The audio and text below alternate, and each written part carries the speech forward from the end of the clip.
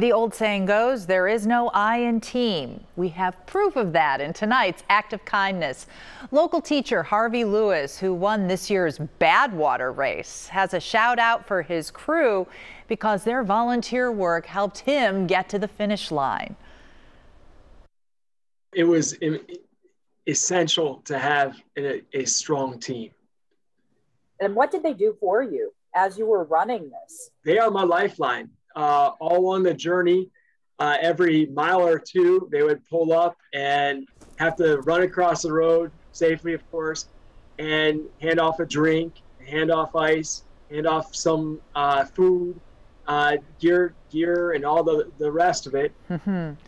And you're looking at a picture of what he just described. That's Harvey and some of his team members who offer up plenty of positive energy and encouragement along the way, along with everything else on the 135 mile trek over unforgiving terrain.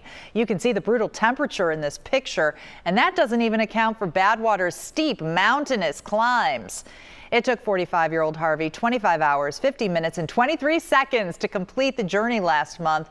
And the members of his volunteer support staff who've stuck with him over the years were with him every step of the way. So here's to, from left to right, Alex Bruns, Judd Poindexter, Max Gavazzi, and Matt Garrett.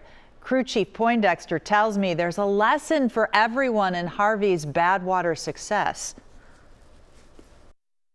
I truly believe that if you put in the time and effort and training and preparation, yeah. you you can do anything you set your mind to do. I mean, I've seen him in some rough situations and he's still just so so positive. Emotionally, I think at the finish of these races, I may be more emotional than him.